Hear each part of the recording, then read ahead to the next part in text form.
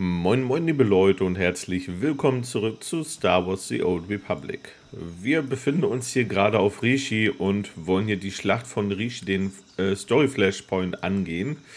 Ähm, wir sollen erstmal mit Jervo Wop sprechen, das machen wir jetzt mal.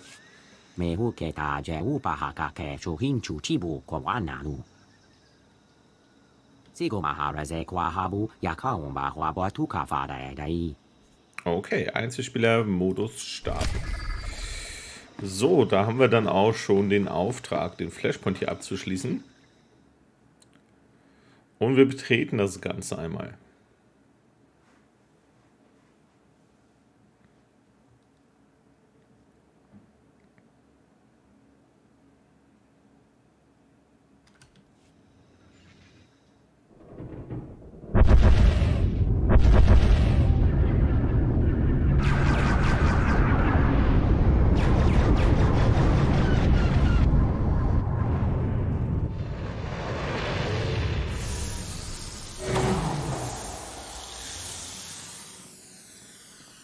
Ich weiß nicht, ob ihr mich empfangt, aber ich bin angekommen. Wir empfangen euch.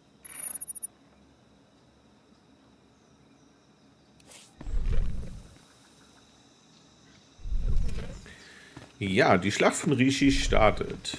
Wir haben wieder unseren Druiden mit dabei. Mal gucken, da kommt er. Natürlich erstmal mitkommen hier. Der Störer ist in Sicht. Perfekt. Und ich habe gerade den Jackpot geknackt. Eine umfangreiche Liste der Revanita-Verräter in beiden Flotten. Ich versuche euch hindurch zu helfen, so gut es geht. Aber dieser Signalstörer könnte für ein paar Probleme sorgen. Okay, schauen wir mal.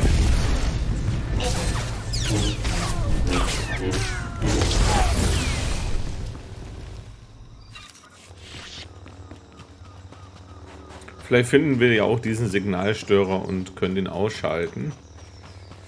Erstmal sollen wir hier das Revanita-Lager erreichen.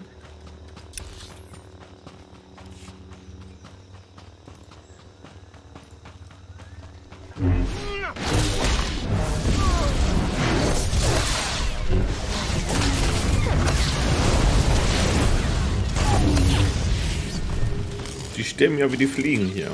Das gefällt mir.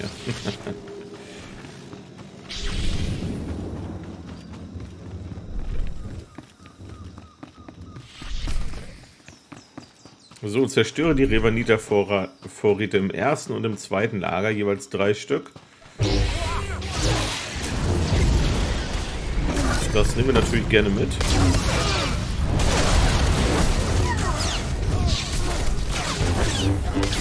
Es ist immer schön gegen ein paar Revanita zu kämpfen.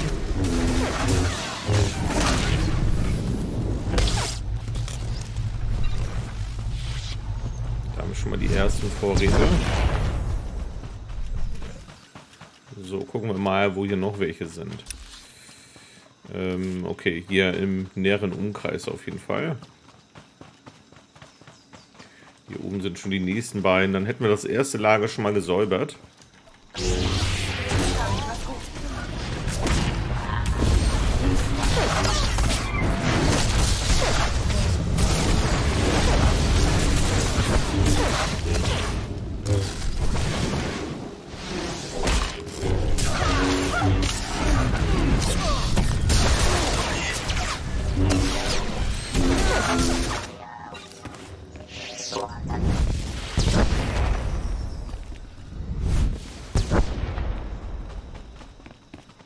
Das war das erste Lager. Das zweite müsste dann gleich bestimmt hier auch irgendwo kommen. Schauen wir mal, wir müssen eh hier lang. Da hinten. Da sehe ich schon die ersten Vorräte.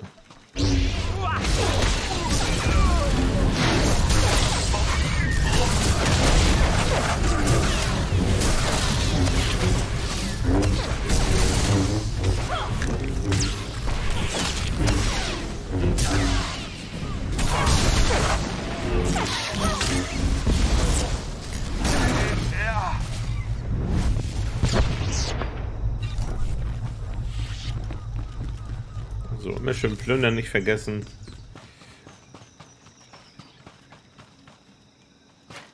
Okay, da sind zwei Vorräte, dann würde ich hier hingehen.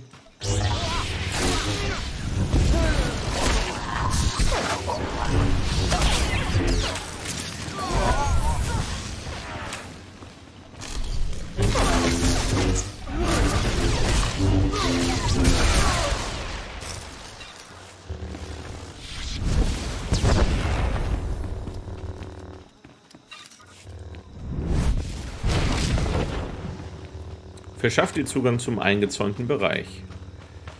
Ja, gucken wir mal. Also hier hinten ist es. Okay, Transportmittel können wir hier nicht verwenden, deswegen müssen wir uns dann wahrscheinlich hier durchkämpfen erstmal.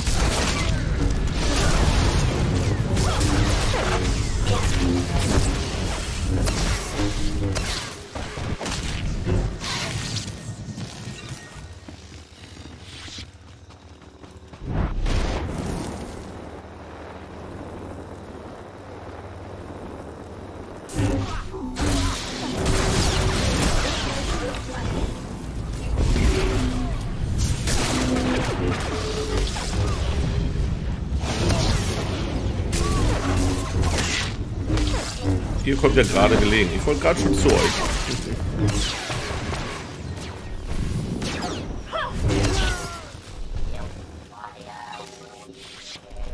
So, hier ist der eingezäunte Bereich. Schauen wir mal, was uns hier erwartet.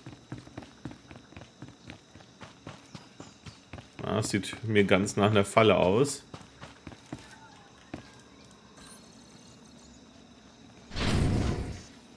Besiege Raruk und Marco K.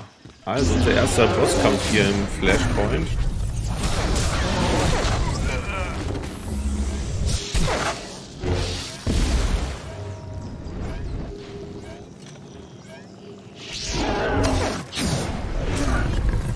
Okay, die haben nochmal neu gestartet. okay, wir haben auch unseren Druiden gar nicht mit dabei. Sehe ich gerade.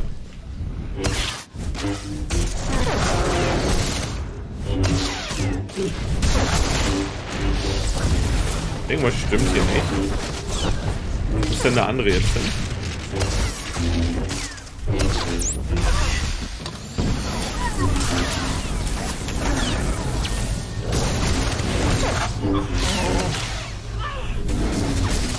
Ja, nicht, dass wir jetzt hier eingesperrt sind und nichts mehr machen können. Da ist der andere wieder. Achso, der macht sich vermutlich unsichtbar oder sowas.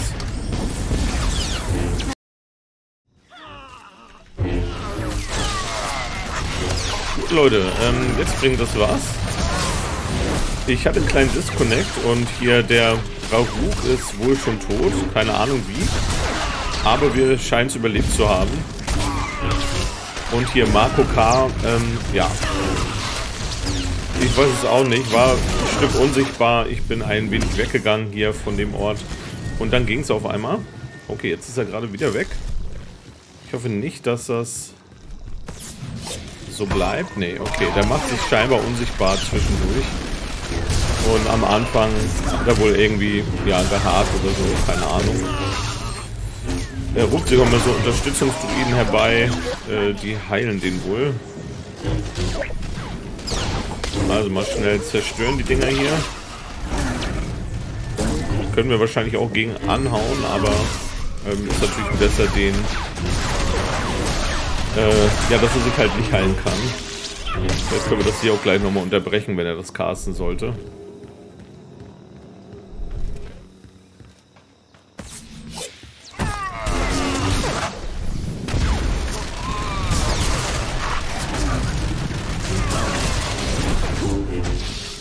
Warum kann ich das denn hier eigentlich nicht casten? Ist irgendwie ausgebraucht. Ich mich nicht warum. Okay, es heilt ihn aber auch keiner. So wahrscheinlich immer random Unterstützungsdruiden. Okay, die hauen rein. Aber verschwinden nach einer Zeit auch wieder. Das ist gut. So, und wir haben ihn gleich. Dann haben wir hier den ersten Boss geschafft.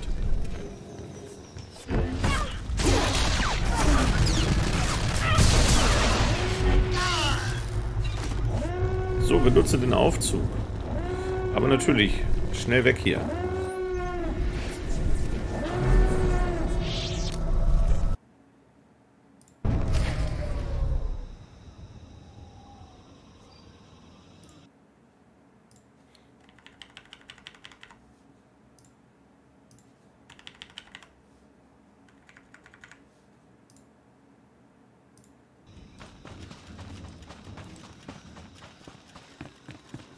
Okay, ihr seid drin.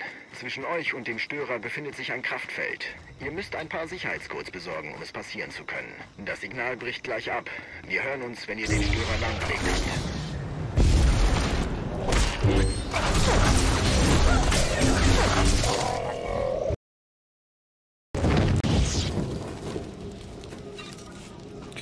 Ähm, ja, ich gucke noch mal kurz. Die Cam scheint ein bisschen falsch zu sein.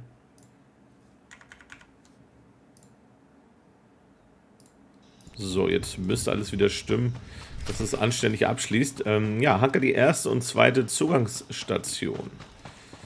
Müssen wir mal gucken, wo sind die denn überhaupt? Äh, hier in dem in der Anlage drin hier. Gucken wir mal, ob wir an dem vielleicht vorbeikommen.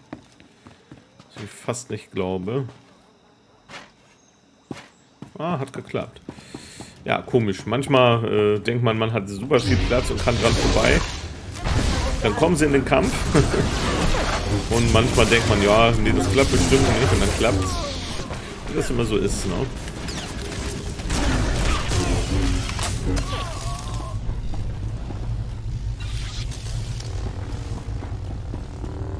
So, hier haben wir die erste Zugangsstation, die wir ausschalten müssen. Beziehungsweise hacken. Schöner Thron hier oben. Erinnert mich an unser neues Gefährt.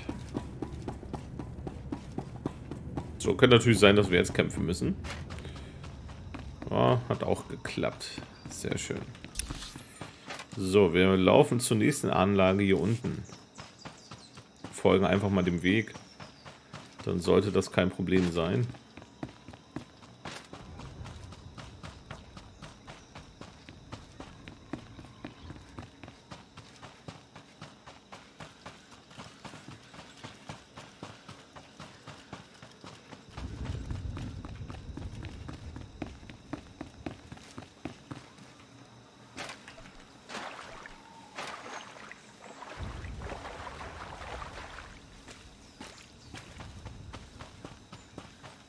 Okay, da steht wieder einer, da kommen wir aber nicht dran vorbei. Den müssen wir mal ausschalten, samt seine Truppen hier.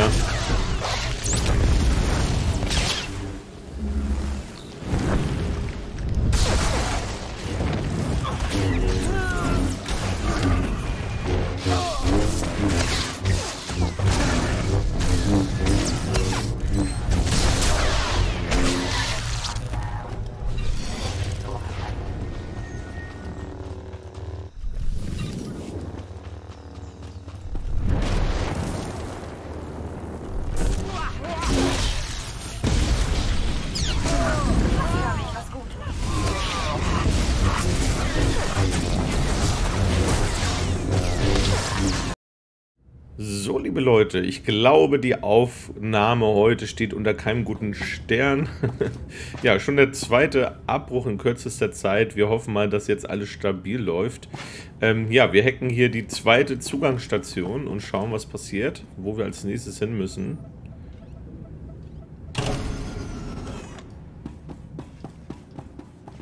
Okay.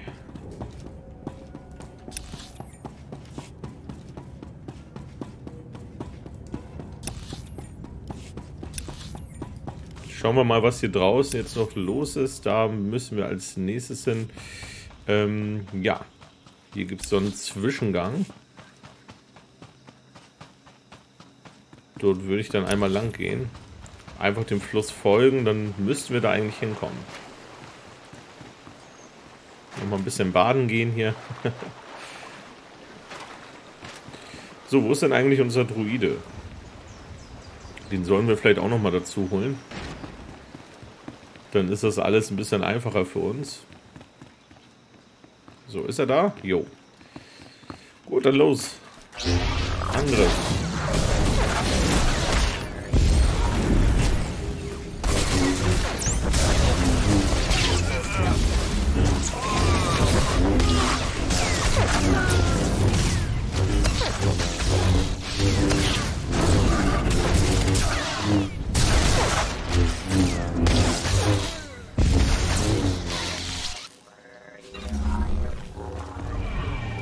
So, sehr schön. Dann wollen wir hier mal rein und das Kraftfeld deaktivieren. Schöne Rivanita-Statue hier hinten in der Ecke.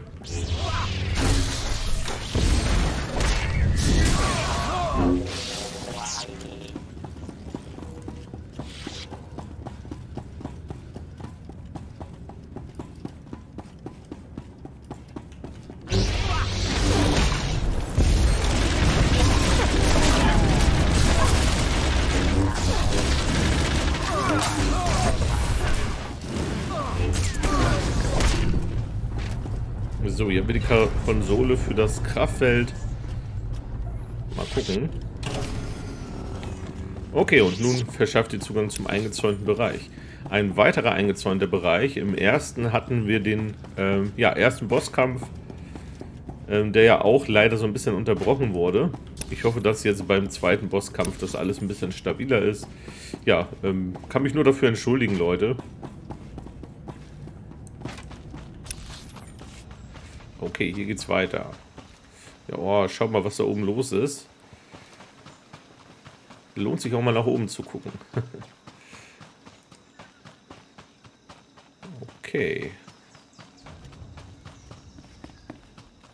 Luftabwehrzone.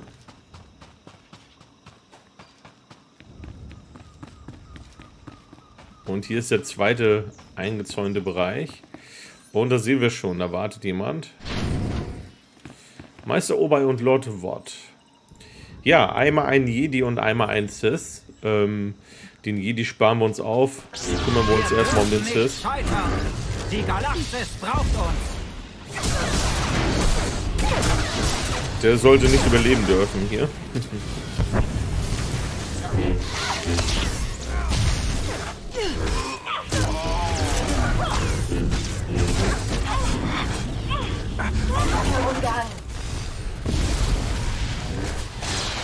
du kannst, können wir auch.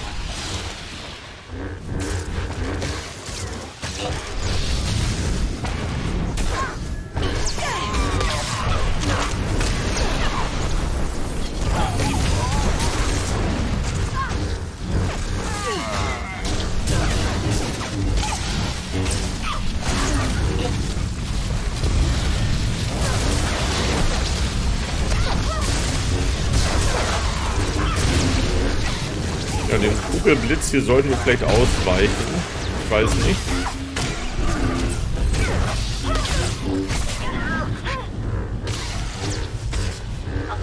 Ja komm, lass uns mal los.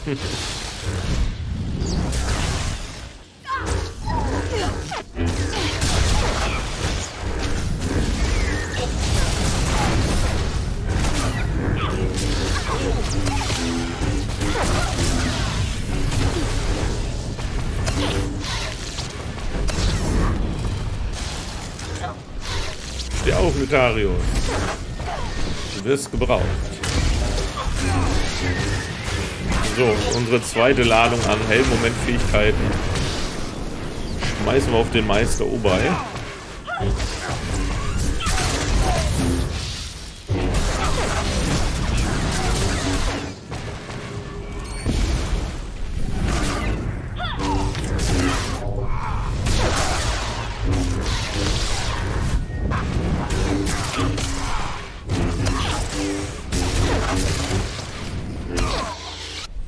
Programmiere die Luftabwehrkanonen um.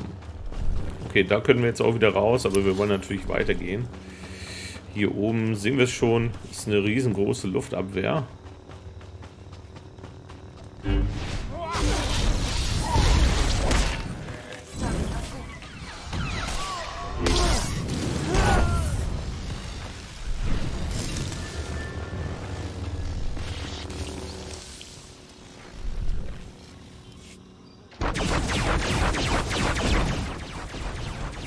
Ja, da großer Krieg auf jeden Fall. Im Orbit.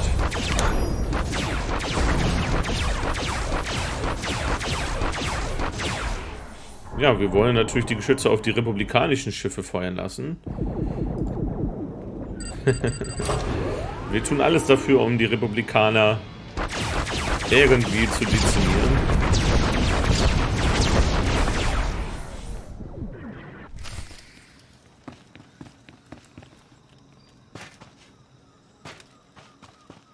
So, wir betreten tatsächlich diesen riesigen Turm hier, den wir schon im Umland ähm, gesehen haben. Vermutlich wird Revan sich hier irgendwo drin aufhalten.